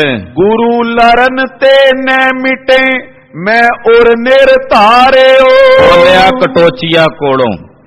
ਕਹਿਣ ਲੱਗਾ ਜੀ ਮੈਂ ਇਸ ਗੱਲ ਨੂੰ ਨਿਰਧਾਰਤ ਕਰ ਲਿਆ ਕਿ ਗੁਰੂ ਜੀ ਨੇ ਲੜਨ ਤੋਂ ਨਹੀਂ ਹਟਣਾ। ਉਹਨਾਂ ਦੀ ਚਿੱਠੀ ਤੋਂ ਪਤਾ ਲੱਗ ਰਿਹਾ ਹੈ ਵੀ ਉਹ ਲੜਨ ਨੂੰ ਤਿਆਰ ਬੈਠੇ ਹਨ। ਵਿਪਰ ਕੇਸਰੀ ਚੰਦ ਕੋ ਬਿਨ ਡਰ ਜਿਨ ਮਾਰਿਓ। ਉਹਨਾਂ ਨੂੰ ਕੋਈ ਭੈ ਹੁੰਦਾ ਤੇ ਏਦਾਂ ਨਾ ਕਰਦੇ ਯਾਨੀ ਕਿ ਪੰਮੇ ਪ੍ਰੋਹਿਤ ਨੂੰ ਤੇ ਕੇਸਰੀ ਚੰਦ ਨੂੰ ਬੇਆਬਰੂ ਕਰਕੇ ਆਨੰਦਪੁਰ ਸਾਹਿਬ ਚੋਂ ਧੱਕੇ ਮਾਰ ਕੇ ਨਾ ਕੱਢ ਦੇ। ਅਬੇ ਪਤਰਿਕਾ ਲਿਖ ਪਟੀ ਸਭ ਪਰੇ ਲਖਾਈ। ਆ ਹੁਣ ਵੇਖ ਲੋ ਤਾਜੀ ਚਿੱਠੀ ਆਈ ਹੈ। ਇਹਦੇ ਤੋਂ ਵੀ ਪੂਰਾ ਸਾਫ਼ ਹੋ ਰਿਹਾ ਹੈ ਕਿ ਗੁਰੂ ਜੀ ਵੱਲੋਂ ਲੜਨ ਦੀ ਕੋਈ ਢਿੱਲ ਨਹੀਂ ਉਹ ਤਾਂ ਤਿਆਰ ਹਨ। ਮਿਲੋ ਵਿਚਾਰੋ ਆਪ ਮੈਂ ਜਿਮ ਵਿਜੇ ਲੜਾਈ। ਕਹਿੰਦੇ ਹੁਣ ਤੁਸੀਂ ਆਪਸ ਵਿੱਚ ਮਿਲੋ ਤੇ ਵਿਚਾਰੋ ਕਿ ਤੁਸੀਂ ਜੰਗ ਕਿਵੇਂ ਜਿੱਤ ਸਕਦੇ ਹੋ ਕਿਵੇਂ ਫਤਿਹ ਪ੍ਰਾਪਤ ਕਰ ਸਕਦੇ ਹੋ। ਸੈਨ ਸਕੇਲੀ ਘਨੀ ਗੁਰ ਪੁਨ ਆਪੇ ਜੋਦਾ ਇਹ ਗੱਲ ਸੁਣ ਲਓ, ਕਿਤੇ ਗੁਰੂ ਜੀ ਨੂੰ ਹਲਕਿਆਂ 'ਚ ਨਾ ਲੈ ਲਿਓ ਵੀ ਹਲਕੇ ਹੀ ਨੇ ਭਾਵ, ਉਹ ਲੜ ਹੀ ਨਹੀਂ ਸਕਣਗੇ। ਕਿਉਂਕਿ ਗੁਰੂ ਕੋਲ ਫੌਜ ਵੀ ਹੈ ਤੇ ਮੈਂ ਸੁਣਿਆ ਗੁਰੂ ਆਪ ਵੀ ਬੜਾ ਯੋਧਾ ਹੈ। ਤੇ ਮੈਂ ਸੁਣਿਆ ਕਿ ਉਹਨਾਂ ਦੇ ਦਰਬਾਰ ਵਿੱਚ ਉਹਨਾਂ ਦੇ ਦਾਦੇ ਦੀਆਂ ਹੀ ਗੱਲਾਂ ਹੁੰਦੀਆਂ ਨੇ, ਜੰਗ ਦੀਆਂ। ਗੁਰੂ ਹਰਗੋਬਿੰਦ ਸਾਹਿਬ ਦੀਆਂ। ਤੇ ਇਸ ਕਰਕੇ ਗੁਰੂ ਆਪ ਵੀ ਬੜਾ ਯੋਧਾ ਹੈ ਤੇ ਉਹਨਾਂ ਨੇ ਸੈਨਾ ਵੀ ਬੜੀ ਇਕੱਠੀ ਕੀਤੀ ਹੋਈ ਹੈ। ਕਿ ਤੇ ਇਦਾਂ ਮਾੜਾ ਧਾੜਾ ਹੀ ਨਾ ਜਾਣ ਲਿਓ ਸਤਿਗੁਰਾਂ ਨੂੰ ਉਹ ਵੀ ਪੂਰੇ ਤਿਆਰ ਬਰ ਤਿਆਰ ਹਨ। ਰਚੇ ਮੈਤ ਕਮਸਾਨ ਕੋ ਥਾਨੇ ਮਨ ਕ੍ਰੋਧਾ। ਉਹ ਵੀ ਜੰਗ ਕਰਨ ਵਾਸਤੇ ਤਿਆਰ ਬਰ ਤਿਆਰ ਬੈਠੇ ਨੇ ਪੂਰੇ ਯੋਧੇ ਨੇ। ਤੇ ਉਹਨਾਂ ਦੇ ਨਾਲ ਵੀ ਜਿਹੜੇ ਸੂਰਮੇ ਨੇ ਉਹ ਤਾਂ ਕਚੀਚੀਆਂ ਵਟ-ਵਟ ਪੈਂਦੇ ਹਨ। ਆਪਣੇ ਘਰ ਮੈਂ ਵਿਆਹ ਸੁਤ ਚਈਏ ਸ਼ੁਭ ਸ਼ਾਦੀ। ਨਾਲੇ ਵੀ ਕਹੀ ਜਾਂਦਾ ਕਹਿੰਦਾ ਤਿਆਰ ਨੇ ਉਹ ਵੀ ਲੜਨ ਨੂੰ। ਤੁਸੀਂ ਵੇਖ ਲਓ ਵੀ ਜਿੱਤ ਲਓਗੇ। ਨਾਲੇ ਰਾਜਾ ਭੀਮ ਚੰਦ ਜੀ ਆਪਣੇ ਘਰ ਵਿਆਹ ਦਾ ਮਾਹੌਲ ਬਣਿਆ ਹੋਇਆ। ਉਹ ਹੁਣ ਬਲਾਜੋ ਲਿਆ ਮੀਟਿੰਗ ਵਿੱਚ ਕਿਰਪਾਲ ਕਟੋਚੀਏ ਨੂੰ। ਇਹਨੂੰ ਪਤਾ ਸੀ ਵੀ ਹੁਣ ਨਾਲ ਤਾਂ ਮੈਨੂੰ ਵੀ ਜਾਣਾ ਪੈਣਾ, ਬੰਦੇ ਮੇਰੇ ਵੀ ਮਰਨੇ ਹੁਣ ਜੰਗ ਦੇ ਜੰਗ ਸ਼ੁਰੂ ਕਰਨਾ ਆਪਣੇ ਹੱਥ ਵਿੱਚ ਹੁੰਦਾ, ਹੁਣ ਖਤਮ ਕਿਵੇਂ ਹੋਣਾ ਇਹ ਨਹੀਂ ਆਪਣੇ ਹੱਥ 'ਚ ਹੁੰਦਾ। ਹੋ ਸਕਦਾ ਉੱਥੇ ਮੈਨੂੰ ਹੀ ਨਾ ਟੋਰ ਦਿਨ ਥਾਪੜਾ ਦੇ ਕੇ, ਜਾ ਕਟੋਚੀਆ, ਤੂੰ ਅੱਗੇ ਵੱਧ ਕੇ ਲੜ, ਤੇ ਕੀ ਕਰਾਂਗਾ? ਸੋਚਦਾ ਨਾਲ ਹੀ ਜਦੋਂ ਆਪਣੇ ਸਿਰ ਤੇ ਆਣ ਪਈ ਹੈ, ਨਹੀਂ ਤਾਂ ਪਹਿਲਾਂ ਦੋਵਾਂ ਪਾਸੇ ਚਿੱਠੀਆਂ ਭੇਜਦਾ ਸੀ, ਵੀ ਲੜੋ ਜੀ, ਲੜੋ। ਹੁਣ ਜਦੋਂ ਇਹਨੂੰ ਸੱਦ ਲਿਆ ਅੰਦਰੋਂ ਨਹੀਂ ਸੀ ਇਹ ਰਾਜੀ ਪਹਾੜੀਆਂ ਨਾਲ। ਅੱਗੇ ਜਾ ਕੇ ਦੇ ਪਰਦੇ ਖੁੱਲ ਜਾਣੇ। ਵੀ ਇਹਨੇ ਅਲਫ ਖਾਨ ਜਿਹੜਾ ਜੰਮੂ ਤੋਂ ਆਇਆ ਹੈ, ਉਹਦੀ ਉਹਦੀ ਮਦਦ ਕੀਤੀ ਸੀ ਪਹਾੜੀਆਂ ਦੇ ਖਿਲਾਫ। ਖੈਰ, ਕਹਿੰਦਾ, ਰਾਜਨ, ਆਪਣੇ ਘਰ ਹੁਣ ਵਿਆਹ ਦਾ ਮਾਹੌਲ ਹੈ ਪੁੱਤ ਤੇਰੇ ਦੀ ਬਰਾਤ ਚੜ੍ਹਦੀਆਂ ਸਾਹੇ ਦੀ ਤਰੀਕ ਰੱਖੀ ਹੋਈ ਹੈ। ਸਨਮੁਖ ਆਯੁਧ ਹਤਨ ਕੇ ਕਬ ਤਿਆਗੇ ਬਾਦੀ? ਤੇ ਕਹਿੰਦੇ ਜਦੋਂ ਜੰਗ ਦੇ ਮੈਦਾਨ 'ਚ ਲੜਾਂਗੇ ਆਮੋ ਸਾਹਮਣੇ ਸ਼ਸਤਰ ਚੱਲਣਗੇ ਤੇ ਕਿੱਥੇ ਉਹਨਾਂ ਨੇ ਕੋਈ ਲਿਹਾਜ਼ ਥੋੜੀ ਕਰਨਾ ਵੀ ਭੀਮ ਚੰਦ ਦੇ ਘਰ ਵਿਆਹ ਦਾ ਮਾਹੌਲ ਹੈ ਤੇ ਆਪਾਂ ਨਾ ਮਾਰੀਏ ਬੰਦੇ। ਜੇ ਤੂੰ ਜਾਏਗਾ ਤੇ ਉਹਨਾਂ ਅੱਗੋਂ ਲਿਹਾਜ਼ ਨਹੀਂ ਕਰਨਾ। ਸਨਮੁਖ ਹੋਵੋਗੇ ਜਦੋਂ ਤੇ ਫਿਰ ਬਾਦੀ ਹੋ ਵਿਵਾਦ ਹੋਵੇਗਾ ਤੇ ਸ਼ਸਤਰ ਚੱਲਣਗੇ। ਮ੍ਰਿਤਕ ਸੰਬੰਧੀ ਹੋਏ ਕੋ ਬੜ ਸ਼ੋਕ ਉਪੇ ਹੈ। ਤੇ ਰਾਜਾ ਭੀਮ ਚੰਦ ਜਦੋਂ ਤੇਰਾ ਕੋਈ ਰਿਸ਼ਤੇਦਾਰ ਮਰ ਗਿਆ, ਆ ਕੇਸਰੀ ਚੰਦ ਮਰ ਗਿਆ ਜੇ ਤੇਰਾ ਸਾਲਾ ਕੋਲ ਬੈਠਾ ਇਹਦਾ ਹੀ ਲੈ ਗਿਆ ਕੋਈ ਸਿਰ ਵੱਢ ਕੇ। ਤੇ ਫਿਰ ਦੱਸ ਉਧਰ ਤੇਰੇ ਪੁੱਤ ਦੇ ਮਾਮੇ ਦੀ ਮੌਤ ਹੋਈ ਹੋਵੇ ਤੇ ਤੂੰ ਪੁੱਤ ਦੀ ਬਰਾਤ ਲੈ ਕੇ ਕਿਵੇਂ ਚੜੇਗਾ? ਇਹ ਚੰਗਾ ਥੋੜੀ ਹੋਣਾ ਫਿਰ। ਵੀ ਉਧਰ ਕੋਈ ਰਿਸ਼ਤੇਦਾਰ, ਕੋਈ ਤੇਰਾ ਭਾਈ, ਕੋਈ ਬੰਧੂ ਜੰਗ ਦੇ ਮੈਦਾਨ 'ਚ ਮਾਰਿਆ ਗਿਆ ਤੇ ਫਿਰ ਦੂਜੇ ਪਾਸੇ ਤੂੰ ਵਿਆਹ ਦੇ ਬਰਾਤ ਤੇ ਫਿਰ ਕਿਹੜੀ ਮੂੰਹ ਲੈ ਕੇ ਚੜੇਗਾ ਕਿਹੜੀ ਖੁਸ਼ੀ ਮਨਾਏਗਾ? ਪਟ ਆਛੇ ਪਹੁੰਚੇ ਬਿਨਾ ਰਣ ਕਵਨ ਕਰੇ ਹੈ। ਤੇ ਜੇ ਤੂੰ ਆਖੇ ਵੀ ਥੋੜੇ ਜਿਹੇ ਬੰਦੇ ਭੇਜ ਕੇ ਜੰਗ ਕਰ ਲਈਏ ਤੇ ਤਾਂ ਵੀ ਗੱਲ ਨਹੀਂ ਬਣਨੀ। ਕਿਉਂਕਿ ਚੰਗੇ ਵਧੀਆ ਸੂਰਮੇ ਗਏ ਬਿਨਾ ਉੱਥੇ ਲੜਾਈ ਨਹੀਂ ਹੋਣੀ। ਚੰਗਾ ਜੰਗ ਨਹੀਂ ਹੋਣਾ। ਪਟੋ ਛੇਰ ਜੇ ਲਰਨ ਕੋ ਤਬ ਪਾਏ ਪਰਾਜੇ ਆ ਜਿਹੜੀ ਛੇੜ ਇਕੱਠੀ ਕੀਤੀ ਆ ਪਿੰਡਾਂ 'ਚ ਜੇ ਤੂੰ ਇਹਨਾਂ ਨੂੰ ਭੇਜ ਦਿੰਨਾ ਇਹਨਾਂ ਨੂੰ ਤਾਂ ਜਾਂਦਿਆਂ ਨੂੰ ਹੀ ਗੁਰੂ ਸਾਹਿਬ ਨੇ ਧਰ ਦਬੋਚਣਾ ਮਾਰ ਮੁਕਾਉਣਾ ਇਹਨਾਂ ਨੇ ਤਾਂ ਪਹਿਲੇ ਹੱਲੇ ਦੇ ਵਿੱਚ ਹੀ ਹਰਨ ਭਰਨ ਹੋ ਜਾਣਾ ਹੈ। ਸਰਿਓ ਕੌਣ ਕਾਰਜ ਲਖੋ ਲੈ ਸ਼ਤਰੂ ਸਮਾਜੇ। ਹੋਰ ਫਿਰ ਕਿਹੜਾ ਕੰਮ ਸਬਰੇਗਾ ਤੇਰਾ? ਕਿਹੜਾ ਕੰਮ ਸੁਧਰੇਗਾ ਦੁਸ਼ਮਣ ਦਾ ਸਮਾਜ ਲੈ ਕੇ? ਜਾਂ ਤੇ ਹਿਰਦੇ ਵਿਚਾਰੀਏ ਰਣ ਨਾਏ ਨਿਆਚੋ। ਕਹਿੰਦਾ ਇਹ ਜਦੋਂ ਹਾਰ ਗਏ ਤਾਂ ਸਾਡੀ ਬੇਇੱਜ਼ਤੀ ਵੀ ਰਾਜੇ ਭੀਮ ਚੰਦ ਦੀ। ਇਹ ਤਾਂ ਫੌਜ ਸਾਡੀ ਸਦੇਣੀ ਹੈ ਨਾ ਵੀ ਹਾਰ ਗਏ ਨੇ। ਇਸ ਕਰਕੇ ਚੰਗੀ ਗੱਲ ਇਹ ਹੀ ਹੈ ਕਿ ਆਪਾਂ ਹੁਣ ਲੜਨ ਤੋਂ ਟਾਲਾ ਕਰ ਜਾਈਏ। ਜੇ ਲਰਬੇ ਕੋ ਚੈਤੋ ਸੁਤ ਬਿਆਹ ਨ ਬਾਚੋ। ਤੇ ਜੇ ਰਾਜਾ ਭੀਮ ਚੰਦ ਲੜਨਾ ਚਾਹਣਾ ਤੇ ਫਿਰ ਇਦਾਂ ਕਰ ਪੁੱਤਰ ਦੇ ਵਿਆਹ ਦੀ ਤਰੀਕ ਥੋੜੀ ਜਿਹੀ ਅੱਗੇ ਰੱਖ ਦੇ। ਤਰੀਕ ਬਦਲ ਦੇ ਵਿਆਹ ਦੀ। ਦੋਨੋਂ ਮੈਂ ਇੱਕ ਕੋ ਕਰੋ ਇਹ ਮਤ ਹੈ ਮੇਰਾ। ਇਹਨਾਂ ਦੋਨਾਂ ਚੋਂ ਇੱਕ ਕੰਮ ਤਾਂ ਕਰਨਾ ਪੈਣਾ ਜੇ ਲੜਨਾ ਤਾਂ ਵਿਆਹ ਦੀ ਤਰੀਕ ਅੱਗੇ ਕਰ ਦੇ। ਤੇ ਜੇ ਵਿਆਹ ਕਰਨਾ ਤੇ ਫਿਰ ਲੜਨਾ ਤੋਂ ਟਾਲਾ ਕਰ ਲੈ। ਸ਼ਾਦੀ ਮੈਂ ਕੁਛ ਗਮੀ ਹੋਏ ਇਮ ਨਹੀਂ ਅਛੇਰਾ। ਖੁਸ਼ੀ ਦੇ ਮਾਹੌਲ ਦੇ ਵਿੱਚ ਇੱਥੇ ਕੀਰਨੇ ਪੈਂਦੇ ਹੋਣ। ਇੱਥੇ ਬੀਬੀਆਂ ਮਾਈਆਂ ਇਕੱਠੀਆਂ ਹੋ ਕੇ ਦੁਹੱਥੜੇ ਮਾਰਦੀਆਂ ਫਿਰਨ। ਰਾਜਾ ਭੀਮ ਚੰਦ ਕਿੱਥੋਂ ਦੀ ਸਿਆਣਪ ਹੈ? ਭੀਮ ਚੰਦ ਕੋ ਸਚਿਵ ਸੁਨ ਬੋਲੇ ਹੋ ਸਭ ਮਾਈ। ਲਾਗੇ ਵਜ਼ੀਰ ਬੈਠਾ ਸੀ ਭੀਮ ਚੰਦ ਦਾ ਉਹ ਵੀ ਬੋਲ ਪਿਆ ਕਹਿਣ ਲੱਗਾ। ਗੁਰ ਸੋ ਨਾਕ ਬੈਰ ਰਚ ਸਾਰੇ ਹੋ ਕੁਛ ਨਾਈ ਇਹ ਗੁਰੂ ਸਾਹਿਬ ਦਾ ਸ਼ਰਧਾਲੂ ਬਣ ਚੱਕਾ ਸੀ। ਕਹਿੰਦਾ ਰਾਜਾ ਸਤਿਗੁਰਾਂ ਨਾਲ ਵੈਰ ਰੱਖ ਕੇ ਤੇਰਾ ਕੀ ਸਬਰਨਾ ਹੈ? ਦੱਸ ਕਿਹੜਾ ਰਾਜ ਭਾਗ ਤੈਨੂੰ ਮਿਲ ਜਾਣਾ ਗੁਰੂ ਜੀ ਨਾਲ ਲੜ ਕੇ? ਛੋਟੇ ਜਿਹੇ ਨਗਰ ਵਿੱਚ ਵਸਦੇ ਨੇ ਸਾਡੇ ਤੇ ਦਇਆ ਕਰ ਰਹੇ ਨੇ। ਤੇ ਤੂੰ ਕਿਹੜੀ ਰਿਆਸਤ ਲੈ ਲੈਣੀ ਆ ਉਹਨਾਂ ਦੇ ਕੋਲੋਂ? ਲੜਤੇ ਹੋ ਸੰਸੈ ਵਿਜੇ ਮੈਂ ਨਿਸ਼ਚੇ ਕਿਸ ਨਾਈ? ਨਾਲੇ ਲੜਨ ਦੇ ਵਿੱਚ ਸੰਸਾ ਹੀ ਹੈ ਵੀ ਜਿੱਤ ਹੋਵੇਗੀ ਕਿ ਨਹੀਂ ਹੋਵੇਗੀ। ਇਹਦੇ ਵਿੱਚ ਵੀ ਸੰਦੇਹ ਹੈ। ਕੋ ਜਾਣੇ ਕੋ ਪਾਏ ਐ, ਸਮਝੋ ਮਨ ਮਾਈ। ਉਹ ਜਾਣੇ ਕੌਣ ਜਾਣੇ ਵੀ ਕੀ ਕਿਸੇ ਨੂੰ ਮਿਲੇਗਾ ਕੀ ਪ੍ਰਾਪਤ ਹੋਵੇਗਾ ਇਹ ਗੱਲ ਨੂੰ ਆਪਣੇ ਮਨ 'ਚ ਸਮਝ ਲੈ। ਉਤਸਵ ਦੀਰਗ ਵਿਆਹ ਕੋ ਨੈ ਕੀਜੇ ਮੰਦਾ। ਤੇ ਤੇਰੇ ਪੁੱਤਰ ਦੇ ਵਿਆਹ ਦਾ ਬੜਾ ਉਤਸ਼ਵ ਹੈ ਬੜਾ ਚਾਅ ਤਿਆਰੀਆਂ ਕੀਤੀਆਂ ਹੋਈਆਂ ਨੇ। ਤੇ ਇਹਨੂੰ ਕਿਉਂ ਮਾੜਾ ਕਰਦਾ? ਇਹਦੇ ਵਿੱਚ ਕਿਉਂ ਤੂੰ ਸ਼ੋਕ ਬਣਾਉਣਾ ਹੈ? ਪ੍ਰਥਮ ਕਰੋ ਪੀਛੇ ਲਰੋ। ਜੇ ਚਾਹੇ ਬਿਲੰਦਾ। ਤੇ ਕਿਉਂ ਰੰਗ 'ਚ ਭੰਗ ਪਾ ਰਿਹਾ ਹੈ? ਆਪ ਹੀ ਆਪਣੇ ਹੱਥੀਂ। ਜੇ ਲੜਨਾ ਹੀ ਹੈ ਤੇ ਬਾਅਦ ਵਿੱਚ ਲੜਨ ਲਈ ਵਿਆਹ ਕਰ ਲੈ ਪਹਿਲਾਂ ਆਪਣੇ ਪੁੱਤ ਦਾ। ਭੀਮ ਚੰਦ ਸੁਨ ਮੋਨ ਭਾ ਕੁਛ ਆਏ ਨਾ ਬਾਨੀ। ਸੁਣ ਕੇ ਪਾਪੀ ਭੀਮ ਚੰਦ ਚੁੱਪ ਕਰ ਗਿਆ ਹੁਣ ਬੋਲਿਆ ਨਹੀਂ ਪਿਆ ਜਾਂਦਾ ਇਹਦੇ ਕੋਲੋਂ ਕੀ ਬੋਲਾਂ ਕੀ ਕਹਾਂ? ਉਤ ਸਤ ਗੁਰ ਪਰ ਬਲ ਪਰੈ ਇਤ ਵਿਆਹ ਪਰਾਨੀ। ਸੋਚਦਾ ਉਧਰ ਗੁਰੂ ਸਾਹਿਬ ਬਲੀ ਨੇ ਤੇ ਇੱਧਰ ਮੇਰੇ ਪੁੱਤ ਦਾ ਵਿਆਹ ਹੈ। ਚਿੰਤਾ ਬਸ ਹੋਏ ਸਭ ਉਠੇ ਠਹਿਰਾਏ ਨਾ ਨੀਕਾ ਚਿੰਤਾ ਵਸ ਹੋਏ ਸਾਰੇ ਬੈਠੇ ਨੇ ਸਾਰੇ ਕਹਿ ਰਹੇ ਨੇ ਵੀ ਇਹ ਗੱਲ ਠੀਕ ਨਹੀਂ ਹੁਣ ਜੰਗ ਕਰਨਾ ਉਚਿਤ ਨਹੀਂ। ਜਬ ਗਮਨਿਓ ਰਣਵਾਸ ਮੈਂ ਕਰ ਕੈ ਮੁਖ ਫੀਕਾ। ਫਿੱਕਾ ਜਿਹਾ ਮੂੰਹ ਕਰਕੇ ਜਿਵੇਂ ਮਾਂ ਮਰ ਗਈ ਹੋਵੇ ਭੀਮ ਚੰਦ ਦੀ। ਇਹ ਆਪਣੇ ਮਹਿਲਾਂ ਵਿੱਚ ਰਾਣੀਆਂ ਦੇ ਕੋਲ ਆਇਆ। ਰਾਨੀ ਸਮਝਾਵਨ ਲਗੀ ਅਬ ਤਜੋ ਲੜਾਈ। ਜਾ ਕੇ ਰਾਣੀਆਂ ਨਾਲ ਗੱਲ ਕੀਤੀ ਰਾਣੀਆਂ ਨੇ ਪਹਿਲਾਂ ਹੀ ਰੋਣਾ ਸ਼ੁਰੂ ਕਰ ਦਿੱਤਾ ਵੀ ਤੂੰ ਕਾਹਦਾ ਪਿਓ ਐ? ਆਪਣੇ ਸੱਕੇ ਪੁੱਤ ਦੇ ਵਿਆਹ ਦੇ ਉੱਤੇ ਰੰਗ 'ਚ ਭੰਗ ਪਾਣ ਲੱਗਾ ਹੈ। ਇਹ ਲੜ ਕੇ ਕੀ ਲੈ ਲੈਣਾ ਤੂੰ? ਕੀ ਖੱਟ ਲੈਣਾ ਕਹਿੰਦੇ ਇਹਨੂੰ ਲਾਹਨਤਾਂ ਪਾਉਂਦੀਆਂ ਦੀਆਂ ਰਾਣੀਆਂ ਇਹਦੇ ਘਰ ਵਿੱਚ ਪਹੁੰਚਿਆ। ਪੂਰਬ ਸ਼ਾਦੀ ਪੁੱਤਰ ਕੀ ਦੇਵ ਬਿਗਨ ਮਿਟਾਈ। ਪਹਿਲਾ ਵਿਆਹ ਤੇਰੇ ਪੁੱਤ ਦਾ ਤੈਨੂੰ ਚਾਹੀਦਾ ਸਾਰੇ ਵਿਘਨ ਦੂਰ ਕਰਨੇ। ਤੁਮ ਸਿਆਣੇ ਮਤੀਵਾਨ ਹੋ ਤਜ ਦਿਓ ਬਖੇਰਾ। ਕਹਿੰਦੀਆਂ ਅੱਗੋਂ ਤੂੰ ਸਿਆਣਾ ਵਿਆਣਾ ਹੈ ਕਿਉਂ ਆਪਣੀ ਅਕਲ ਨੂੰ ਹੱਥ ਨਹੀਂ ਮਾਰਦਾ? ਛੱਡ ਦੇ ਇਸ ਵਖੇੜੇ ਨੂੰ।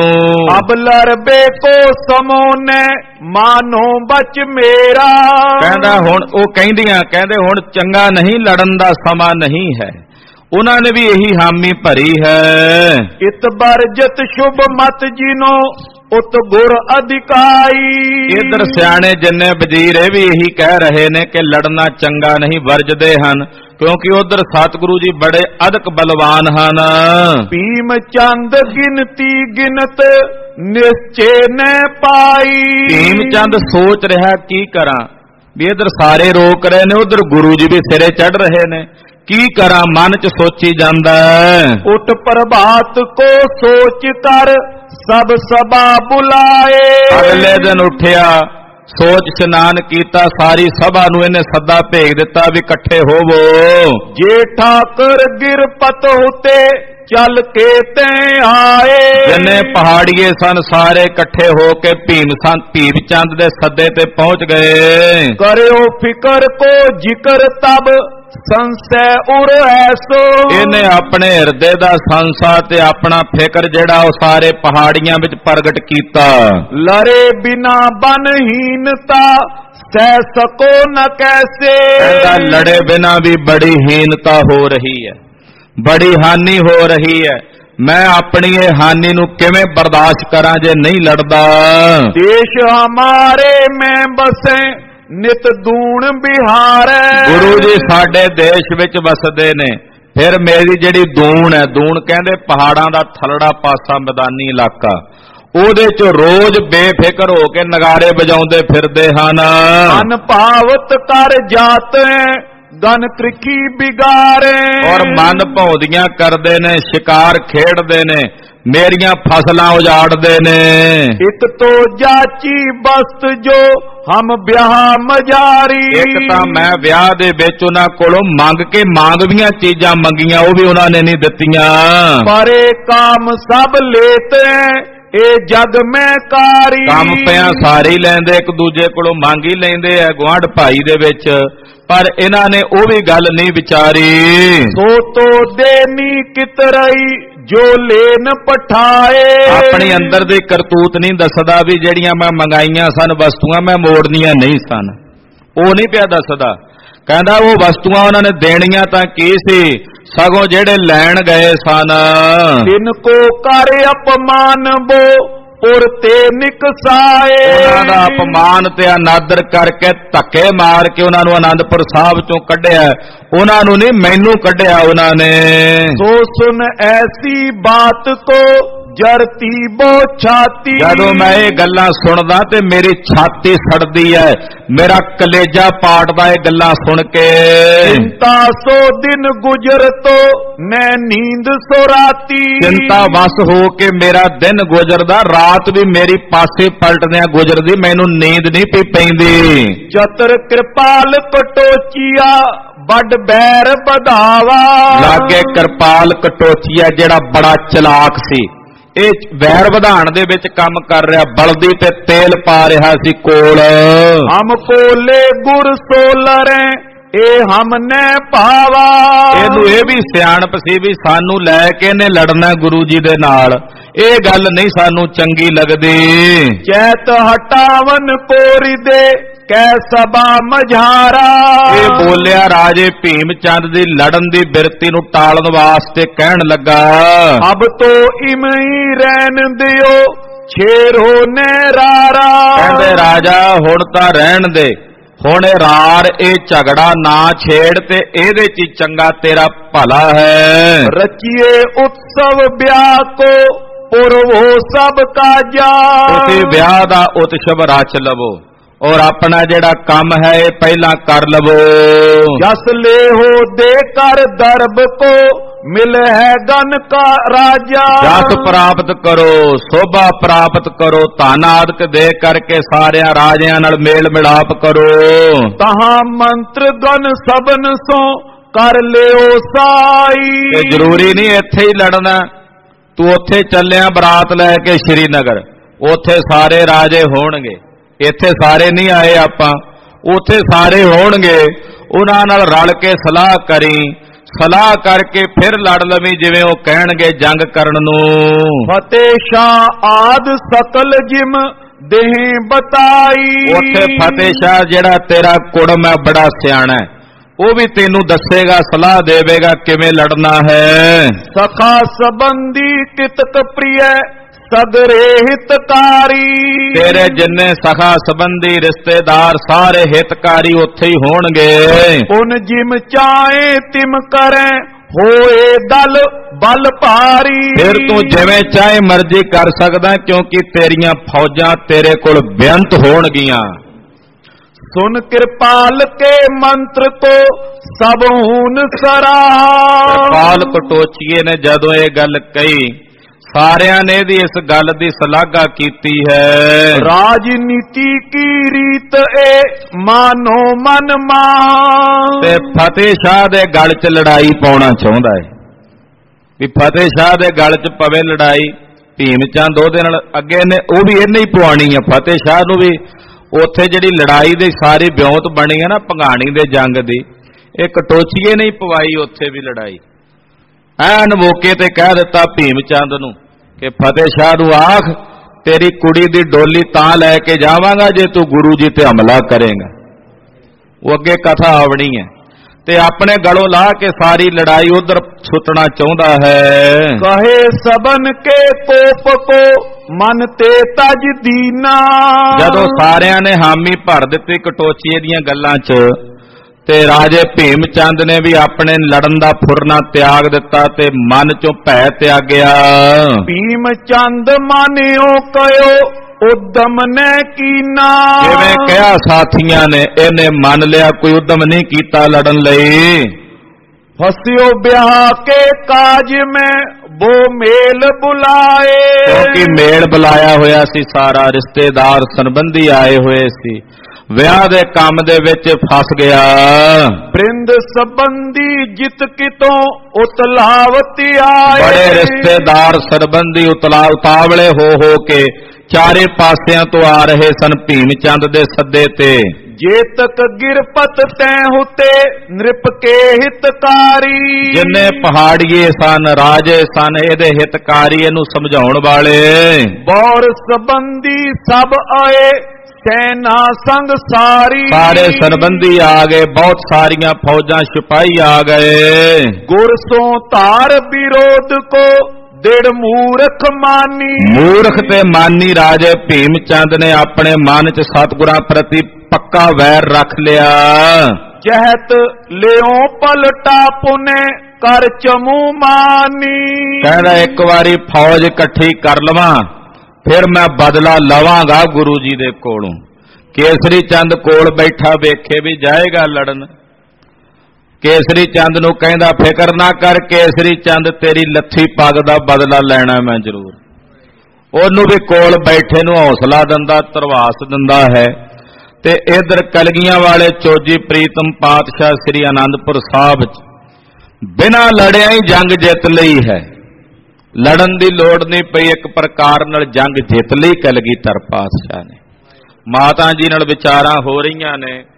ਉਹ ਕਥਾ ਆਪ ਦੀ ਅਗਲਿਆਂ ਪ੍ਰਸੰਗਾਂ ਵਿੱਚ ਸਰਵਣ ਕਰੋਗੇ।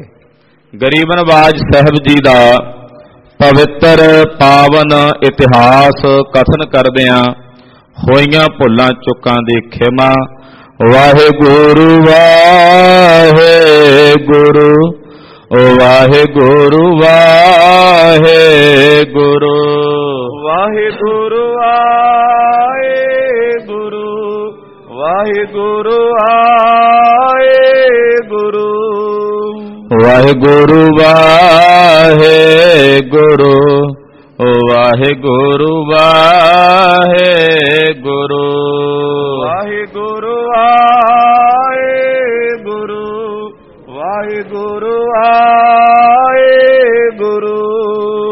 ਵਾਹਿਗੁਰੂ ਵਾਹਿਗੁਰੂ ਵਾਹਿਗੁਰੂ ਵਾਹਿਗੁਰੂ ਵਾਹਿਗੁਰੂ ਆਏ ਗੁਰੂ। ਵਾਹਿਗੁਰੂ ਆਏ ਗੁਰੂ ਵਾਹਿਗੁਰੂ ਵਾਹਿਗੁਰੂ ਵਾਹਿਗੁਰੂ ਵਾਹਿਗੁਰੂ